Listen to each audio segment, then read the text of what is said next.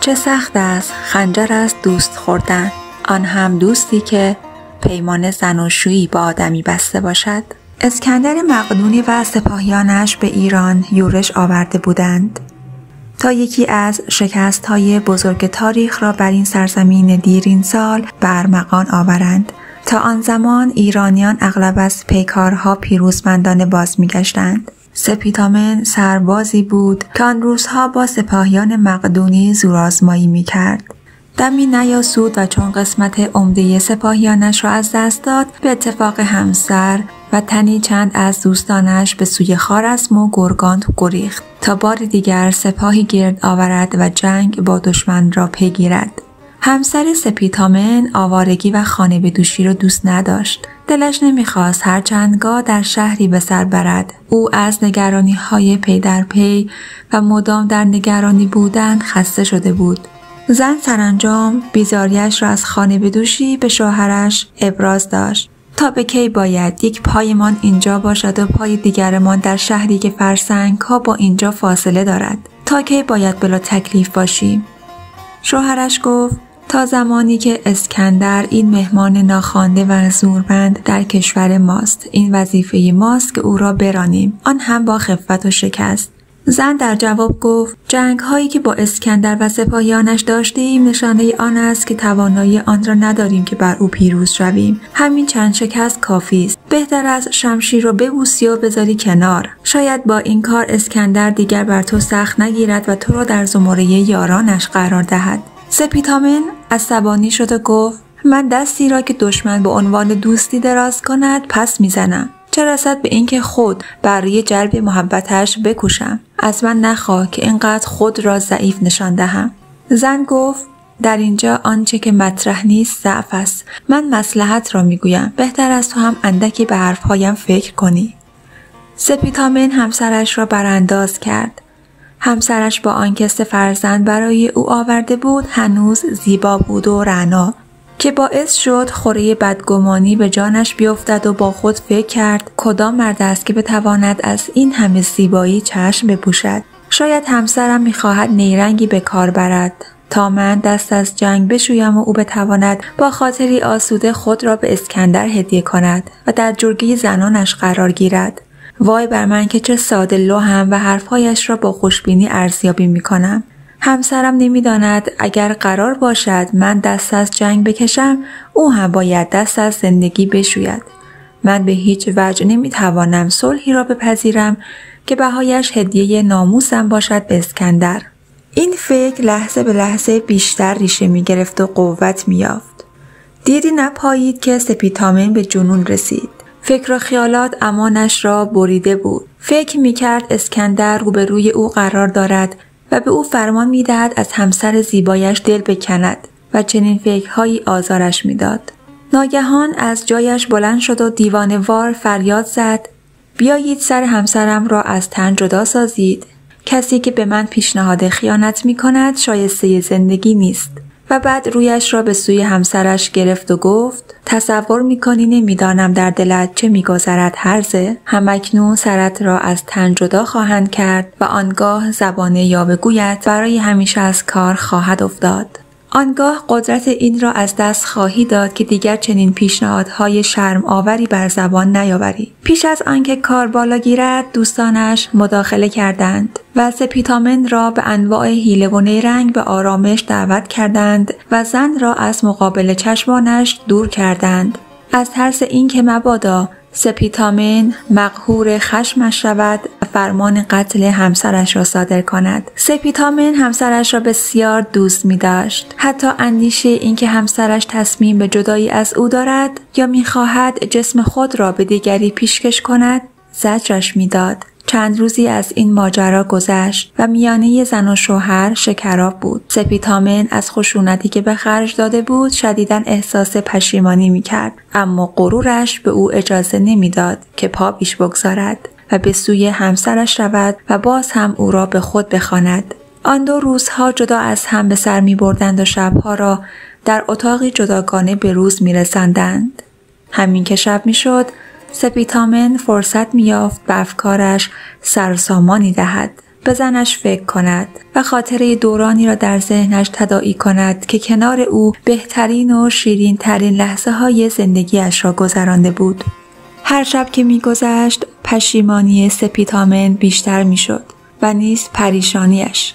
همه ذرات وجودش نیاز او را به همسرش فریاد می‌زدند و می‌خواست بار دیگر مادر فرزندانش را در کنار داشته باشد و بالینش را با او قسمت کند اما همسرش چنان از او فاصله گرفته بود که مرد تصور می کرد به کلی از او دل کنده است سپیتامن چند روز دیگر هم صبوری کرد به امید آنکه همسرش پیش قدم شود و با او آشتی کند اما هنگامی که متوجه شد انتظار هیچ نتیجه ندارد ناچار شد که از همسرش عذر خواهی کند و برای همسرش پیغام فرستاد که هنوز هم مهرش را به دل دارد و نمی‌تواند بیش از این دوری و فراغش را تحمل کند. همسرش ابتدا پیغام را بی جواب گذاشت و سپیتامن را بران داشت که پیغام های دیگری نیز در پی پیغام اولش برای او روانه کند و وعده های نیز به آن اضافه کند. وقتی که پیغام های اصرار آمیز زیادی فرستاد زن حاضر شد دوباره به نزد شوهرش برود. منتها به یک شرط. به شرط آنکه سپیتامن جشنی ترتیب دهد و در حضور همه کسانی که به او خشونت روا داشته بود از همسرش دلجویی کند و مهرش را صمیمانه ابراز کند. سپیتامن چاره نداشت به جز پذیرفتن این شرط. او بدون درنگ دستور داد جشنی برپا کردند. جشنی شکوهمند و پرحسینه او برای برگزاری این جشن بیش از اندازه سخاوت به خرج داد. انواع و اقسام خوراک های خوشتم و شراب های خوشگوار را تدارک دید. دوستانش ساعتها در آن جشن حضور داشتند. دهان و شکم خود را از خوراک ها و شراب ها انباشتند و به منتهای درجه مستی رسیدند. خود سپیتامن هم در آن جشن به افراد نوشید. تعادلش را از دست داد و سیاه مست شد. به گونه که نمی توانست روی پاهایش بند شود. هرگاه که از جایش بلند می شد و گامی بر می داشت چند گام نامتعادل دیگر هم به آن اضافه می شد. هوشیاریش را به کلی از دست داده بود وقتی که حرف می‌زد لحنش کش می آمد و حرفهایش نامفهوم می شد. تنها نام همسرش در میان حرفهای نامفهومش قابل تشخیص بود. آن هم نه به آسانی. مهمانها یک به یک محفل ایش و نوش را ترک کردند. پس از مدتی سپیتامن و همسرش تنها ماندند. زن نگاهی به شوهر مست و لایعقلش انداخت. به یاد روزی افتاد که سپیتامن بر او خشم گرفته بود. کینه در قلبش جوشید و نفرت در وجودش زبانه کشید. از زندگی با مردی که او را در مقابل چشم دیگران خار و خفیف کرده بود بیزار شد او می‌خواست زندگی آرامی داشته باشد یک زندگی پرتجمل و مرفه با خود گفت هنوز که زیبا هستم هنوز که تراوت جوانی از وجودم رخت بر نبسته باید از فرصت استفاده کنم شوهرم راه خوبی به من نشان داده است باید هر طور شده است خودم را به اسکندر هدیه کنم. باید خودم را به او نشان دهم.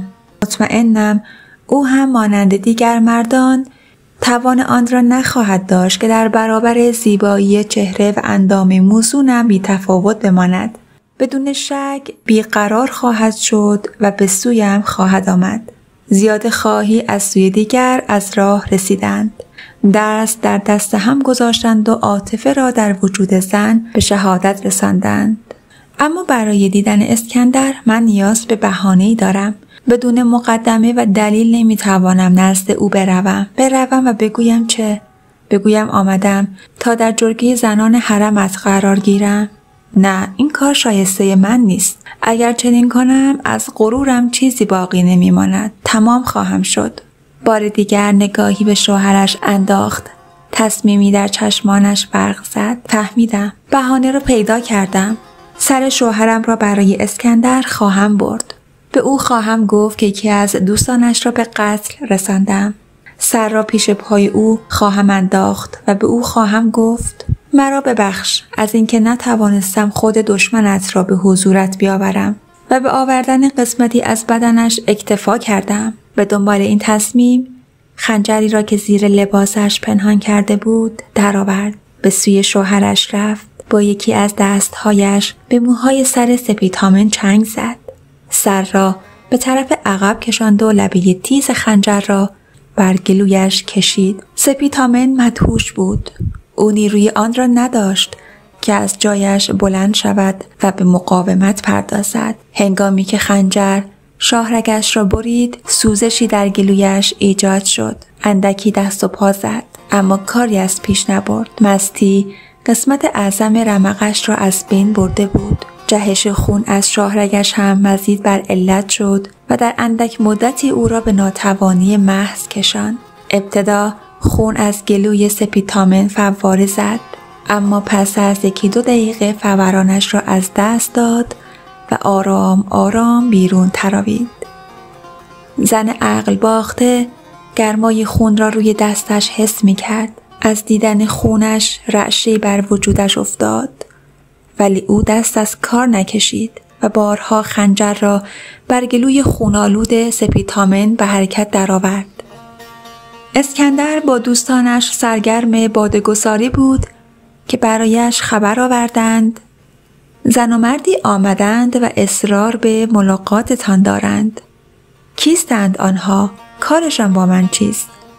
مقصودشان را نگفتند. به تنها مسئله که اشاره کردند آوردن هدیه است برای شما اسکندر لحظه درنگ کرد آنگاه دستور داد بیاوریدشان همسر سپیتامن را به حضورش آوردند و نیز غلام او را که کوله باری به دوش داشت. اسکندر پرسید کیستی ای زن؟ مقصودت از دیدار ما چیست؟ زن سرش را به احترام خم کرد و پاسخ داد راهی دراز را زیر پا گذاشتم تا نزدتان بیایم و برایتان هدیه بیاورم هدیه که خوشحالتان می کند اسکندر نگاهی به زن کرد. زن به راستی زیبا بود. ظاهر زن نشان می‌داد که با وجود سفر درازی که در پیش داشته قبل از حضور در بارگاه او با دقتی وسواسگونه به آرایش خود پرداخته است. زن به غلامش اشاره کرد و دستور داد کولت را باز کن هدیه من را به امپراتور نشان بده. غلام جلو آمد کوله بارش را باز کرد. سر بریده سپیتامن مانند گوی خونالود روی زمین قلتید و پیش پای اسکندر از حرکت باز ایستاد. اسکندر و اطرافیانش از دیدن سر بریده یکه خوردند آنها در میدانهای جنگ به کرا چنین صحنه ای را دیده بودند. اما انتظار نداشتند زنی سفری پرخطر و طولانی را بر خود هموار کند به خاطر هدیه آوردن سر بریده اسکندر لحظه‌ای به سر بریده شده نگاه کرد. خونی که بر گلوی آن وجود داشت خشکیده و به تیرگی نشسته بود. سر بریده سپیتامن هنوز مستی و مدهوشی آخرین لحظات حیاتش را در خود داشت. اسکندر پرسید این سر کیست؟ زن پاسخ داد سر سپیتامن است سر یکی از دشمنانت. اسکندر گفت سپیتامن میشناسمش ولی برایم باور کردنی نیست که یک زن بتواند سرداری جنگجو را سر ببرد. غلام به حرف درآمد اما بانوی من با دیگر زنان تفاوتها دارد. او همسرش هست و مادر فرزندانش. آثار تعجب و نفرت در چهره اسکندر آشکار شد. چه دلیلی باعث شد که دستت را به خون شوهرت آلوده کنی؟ زن خود را آماده کرده بود برای راهی خوابگاه اسکندر شدن. نه پاسخ دادن به چنین سوالهایی او اصلا انتظار چنین پرسشی را نمی کرد. از این رو لبانش در قفل سکوت گرفتار شد چرا که او نمی توانست بیمهابا و بدون شرمساری منظورش را از انجام این جنایت بازگو کند نمی توانست بگوید که شوهرش را پدر فرزندانش را کشته است تا به مردی دست یابد به مردی که قدرتمندترین شخصیت آن زمان به شمار می آمد.